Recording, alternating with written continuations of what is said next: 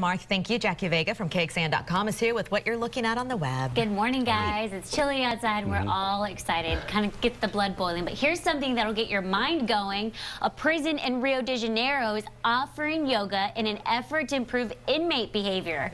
Probably isn't the first thing to come to mind when you think about prison, but officials at this penitentiary say it makes a difference. Classes are also offered to convicts after they've been released. Find out why. And speaking of stretching yourself, a Chinese woman is ambidextrous to the max. Now, the 24 year old can write in different languages, in different directions, with both hands at the same time. Wow. A lot to wrap your mind around. It's a skill she accidentally discovered while struggling to cope with overwhelming English language homework. Hmm. Check out what she's doing now and what hand she actually writes with in everyday life. Check it out. That's great. Yeah.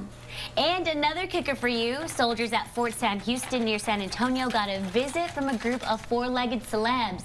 Budweiser Clydesdales came out to ride around wounded warriors and their families for a bit. The animals aim to boost morale and give the wounded soldiers something to smile about while on the mend.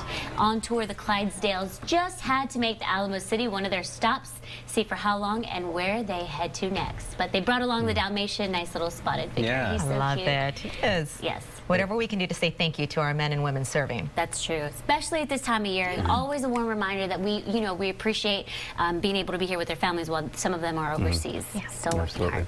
All of that this morning at KXAN.com. We'll have a check on your morning roads and our chilly forecast right after the break.